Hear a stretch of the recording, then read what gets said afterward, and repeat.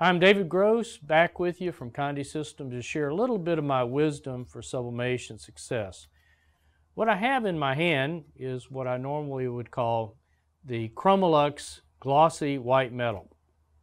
And this metal, along with a fantastic company by the name of Universal Woods, has changed the face of the sublimation world through these gorgeous products vir- metal has gone viral in our world, and if you're not part of the ChromaLuxe revolution, I recommend you get on board. What we have done with this new metal is pushed it outdoors. So for years, we wanted to push everything sublimation outside. But unfortunately, sublimation tends to fade outdoors. Why does sublimation fade? Really for two reasons.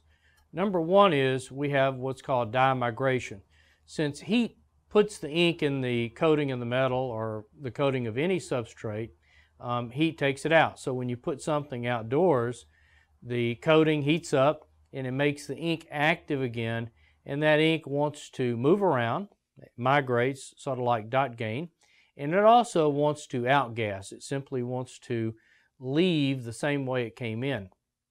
Number two is inks over, over time can be affected by UV radiation. Um, and so just about anything, of course, you put outdoors will fade.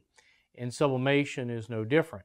So the great folks at Universal Woods, better known as Unisub, through this ChromaLuxe product, have created basically an amazingly amazing new coating that has a much longer life outdoors. They call it the ChromaLuxe EXT. I'm not sure how they pronounce it. Maybe it's extend or something like that. But this new metal will be recognizable through its yellow peel coat. So the metal is not yellow. This peel coat comes off.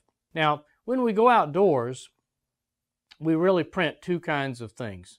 Number one is we print photographs, um, and this will be a good example of a photograph. Um, and we also do things that are really, um, we'll call it graphic oriented. Now, if I look at this, Looks like both of these really have, have photographic elements in them, raster elements. And so the life outdoors of this or any sublimation substrate um, are really dependent to some extent first on, on the graphic we're using. So if we're using a photograph, especially of something that has uh, flesh tones in it, um, when the flesh tones begin to fade, usually the magenta fades first, giving our images a cyan tint. Everybody will recognize those flesh tones as not being correct. But on the other hand, if it's a graphic, when a graphic begins to fade, it's sort of hard to recognize because you can't quite remember what it used to look like.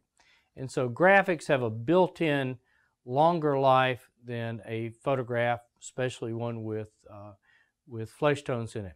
Now for years, we've been selling um, basically a an older version of this for the Unisub license plates, the hitch covers, things like that. Um, even though both of these will have a yellow peel coat, the, the extended life, the exterior uh, ChromaLuxe, um, will be, you'll see the part numbers on our website for those, those uh, SKUs.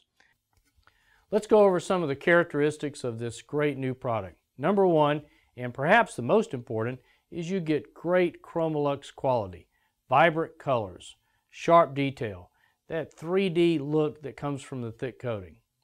Number two is you get the awesome scratch protection of this metal. Um, it's very difficult to scratch. It's going to hold up quite well um, in an outdoor environment. Number three is it's, it's graffiti resistant. So if somebody spray paints it, guess what? You can wipe that away with lacquer thinner. In fact, I've got videos from years ago that show me doing that, and I've got some videos that even show me trying to light the stuff on fire. So that one got me in trouble with the wife, as a matter of fact. And finally, this product is a single step product, meaning you sublimate, that's it. Unlike many of the outdoor products that require a second step, putting a laminate layer on top. Now, this is really, we'll call it phase one of moving the ChromaLuxe exterior product to the outside. And that is the metal is available today. If you use the metal with your desktop sublimation system, let's say you have a Virtuoso SG400, 800, a Ricoh, um, you know, even the Epsons, the bigger printers, you will get um, a much longer life outdoors. What we are working on now is to come out with new inks that simply are better sublimation inks for everyday use, but when used with, in conjunction with a metal like this for, for outside use, will give you even longer life. And so that's the, really the phase two. So again, the tougher the ink is, so to speak, then the more difficult the ink will be to have dye migration and outgassing. The UV package is really part of the, the coating of it. And so the good news is that um, there's a lot of innovation going for you to take advantage of those outdoor opportunities. We will be spending a lot of time uh, telling you of success stories, telling you of strategies for mounting metal, things that um, we're excitingly learning about. Um, and, and with this product, you will be able to, to aggressively go after markets that before uh, probably weren't a good fit for the existing products. So the metal today is available. It's available in pretty much uh, just a large number of sizes, all the way up, of course, to sheet sizes for people that want to cut their own metal. And what I'd like to do is have a call to action for you um, to give us a call if you're interested in this outdoor metal. And we will throw in a free 5x7 piece of the ChromaLuxe exterior metal with your, to be included with your next order. So I look forward to your questions.